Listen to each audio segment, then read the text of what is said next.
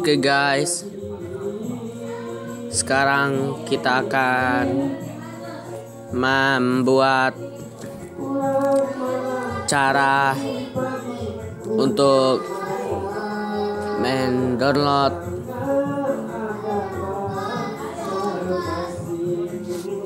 sebuah video di YouTube dengan melalui ini dia uh, offline video offline. Jika kalian yang masih belajar begini caranya. Seperti ya kita cari dulu misalnya uh, skill. Skill ya skill Neymar lah.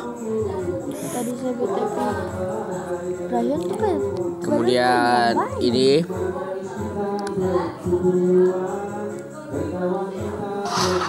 Lalu kita klik ke mode offline. Jaringan sedang lambat. Download. Eh, kita lihat.